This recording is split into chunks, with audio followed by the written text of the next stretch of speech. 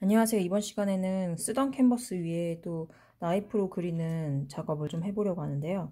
그래서 wet on wet 기법이기 때문에 계속 젖은 상태에서 올리는 방법을 전 주로 이제 이렇게 나이프를 많이 이용합니다. 그래서 오늘 사용하는 컬러는 titanium white, 그리고 ultra, ultramarine blue, 그리고 turquoise blue랑 ivory black을 좀 가져왔고요. 그 다음에 cinnabar green 한 요 정도 다섯 가지의 컬러로 우선 바닷가를 한번 해보겠습니다. 약간 줌을 해서 시작을 해볼게요.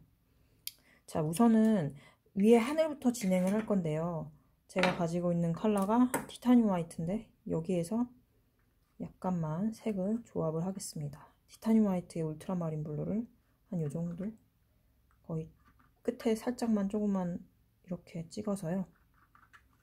어느 정도 뭐 우리가 알고 있는 전형적인 하늘을 만들 거예요. 하늘색을 만들 거고요. 약간 여기다가 제가 터키즈 블루를 가져왔는데 이거를 그 쓰게 되면 좀 하늘색이 예쁘게 나와요. 약간 이게 그린이 섞, 이미 섞여 제조가 되어 있는 물감이라서 이 상태를 그대로 하늘에다가 발라볼게요. 이게 한 여기쯤에 될 거거든요. 그래서 이렇게 밑에 이미 제가 예전에 그 잔디밭 그린 캔버스인데 이게 이제 약간 굴곡 있잖아요. 그렇기 때문에 이거 잘 이런 식으로 펴바릅니다. 항상 이제 새로운 캔버스면 이제 색, 채색이 나이프로 할 때 쉬운데 밑에 이렇게 굴곡이 있을 때는 이런 식으로 메꿔가면서 약간은 두께감 있게 올리는 게 좋겠죠? 밑 이렇게 밑색이 막 나오지 않게 이렇게 어느 정도 초벌칠을 해줍니다. 여기에서 이제 티타늄 화이트를 이제 조금만 기존 만들어 놓은 그 하늘색에 섞어서요. 대충 섞어요, 대충. 이번에는. 거의 터치 위주로 제가 진행을 할 거라서요. 한 여기쯤에 뭐 구름이 이렇게 지나갑니다. 그냥 터치 묘사가 아니라 거의 터치 위주의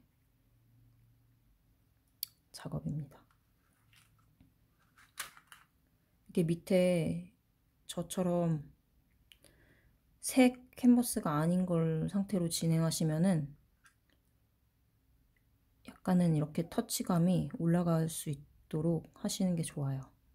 웬만하면 밑에 색이 안, 나, 안 나올라오게 근데 그 전에 한번 싹 막 지저분한 지저분한 느낌이 나는 게 싫으면 그냥 막 한번 지우고 마른 다음에 진행하셔도 돼요 물감으로. 자 이게 지금 구름이 된 거고요. 그 다음에 여기쯤에 이렇게 산을 한번 진행을 해 볼게요. 이 나이프는 좋은 점이 저는 이렇게 빠르게 그릴 때 있잖아요. 빠르게 거의 무슨 그림을 퍼포먼스 식으로 연필 종이로 치면은 캔버스 위에 드로잉하는 느낌인 것 같아요. 계속 젖은 거 위에 막 올릴 수가 있기 때문에 자 ultramarine blue 가져왔고요. 기존 하늘색, 흰색 섞은 색 위에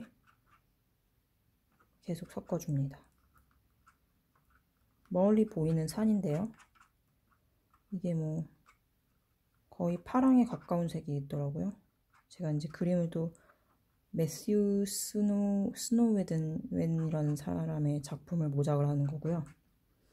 뒤에가 약간 산이 이런 식으로 진행이 되고 있습니다.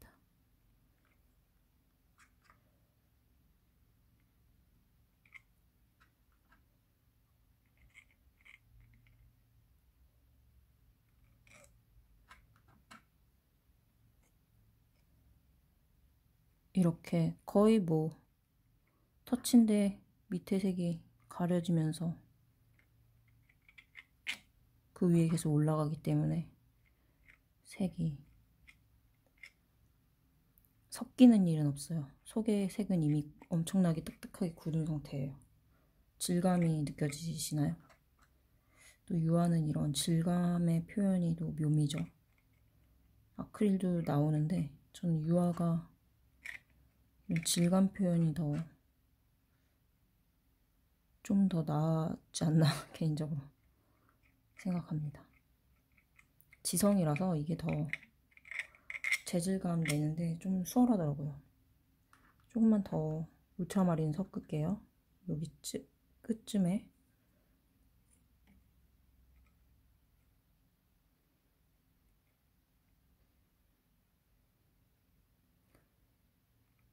처음에 이제 그림을 선정하실 때 그림을 이제 처음 그리시거나 초보자분들은 딱 아, 좀 너무 묘사가 많이 들어간 건 왠지 내가 하기 버거울 것 같다. 이런 생각이 드, 들잖아요. 그래서 약간 묘사가 덜 들어간 반추상적인 느낌이 드는 그런 풍경, 터치로만 툭툭 들어가는 것들, 그런 걸 간편하게 그려보셔도 좋아요. 전체 덩어리를 잡는 느낌이 있기 때문에. 그렇다고 이런 반추, 반추상적인 그런 그림들이 완전 뭐, 완전 쉬운 그림이다. 그렇게 단정 지을 순 없어요. 진짜 정교하게 그리시는 분들도 자신만의 스타일, 터치감을 살려가면서 약간 이렇게 터치감으로만 풍경화를 그리시는 작가분들도 많고 그런데 이게 이제 이런 기법도 기법 중에 하나라는 걸 보여드리는 겁니다. 이게 터치로만 붓이 안 들어갔잖아요, 지금.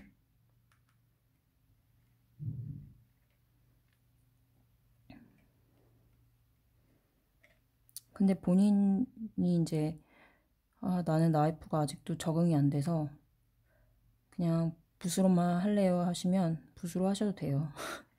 답이 없어요. 자기에게 편하고 제일 익숙하고 좋은 소재가 그림을 그릴 때 가장 좋은 재료가 아닐까요?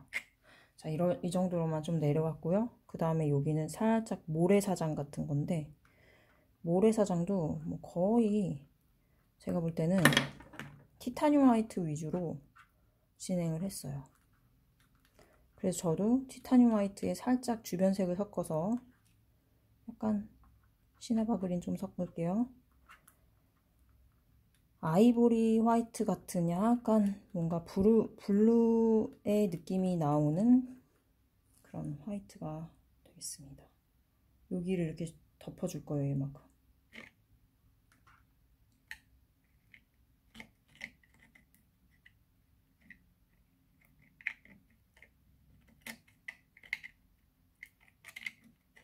지금은 거의 채색이 아니라 밑색을 덮는다는 개념으로 그림을 그리고 있네요. 밑에 올라오지 않도록 색을 메꿔가면서 저번 영상에서도 바닷가 그림을 거의 제가 밑색을 안 칠해놓은 상태 진행한 거라서 이렇게 막 대충 막 그립니다. 막.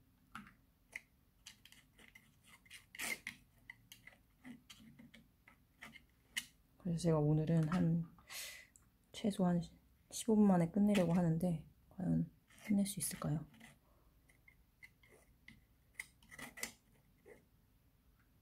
그래서 이렇게 표면을 다 메꿔주고요. 물감이 모자르니까 조금만 더 섞겠습니다.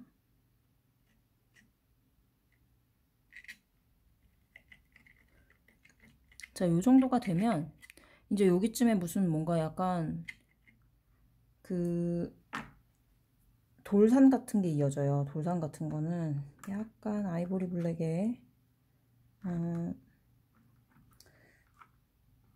번트엄버를 섞었어요. 약간 진한 진한 톤이죠. 굉장히 진한 톤에 가까운 색이 올라가게 돼요. 여기쯤에 그냥 이렇게 툭툭. 어차피 이 위에 약간의 그 꺾이는 그런 부분들은 터치로 제가 마무리를 할 겁니다. 그러면서 동시에 여기도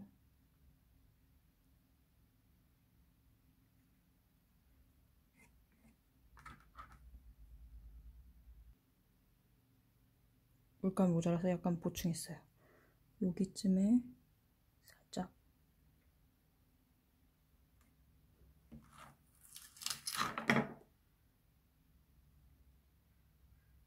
섬이 이렇게 섬이 아니라 그 바위라고 그래야 되죠? 해변가 이렇게 중간중간에 있는 바위. 이거는 original black ivory black이고요. 밑색이랑 섞이면서 약간 그런 터치감을 살려주고 있습니다.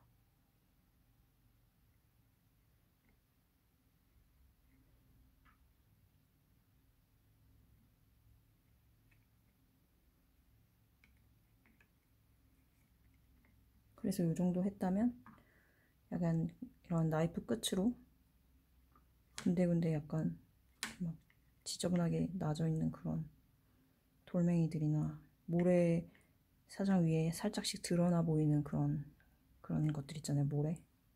그런 걸 표현하고 있어요.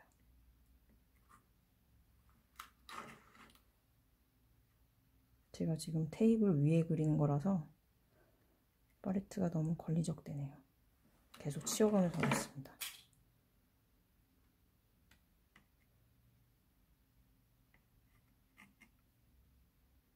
네, 이렇게 조금씩 이렇게 터치감으로 하고요. 그 뒤에 보이는 약간 그런 어, 멀리 보이는 돌산 같은 것들이 있거든요. 그거는 티타늄 화이트를 좀 섞었어요. 그 위에 바로 이렇게 터치로 드로잉 하듯이 나이프의 방향을 좀 바꿔가면서 이렇게 넣어줍니다. 무사가 많지 않아요.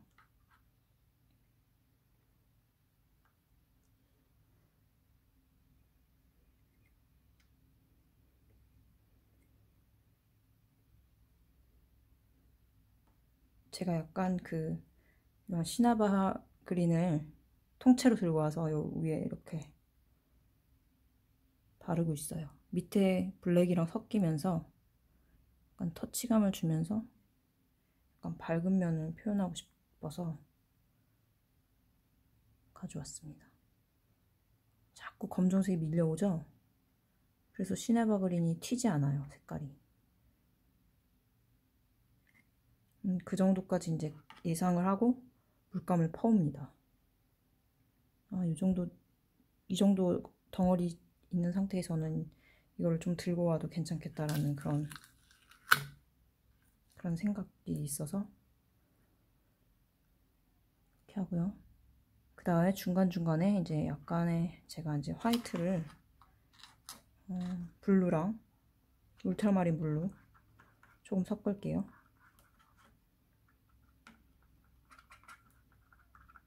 거의 회색이네요.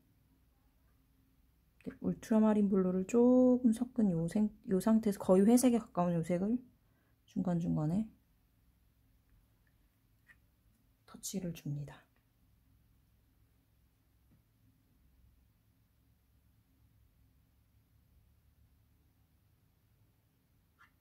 gray 톤이 들어간 약간 ultramarine, ultramarine이랑 white를 섞어서 blue, blue, 그러니까 거의 sky blue를 만든 다음에 이렇게 조금씩 터치를 넣고 있어요. 뭐 여기쯤에도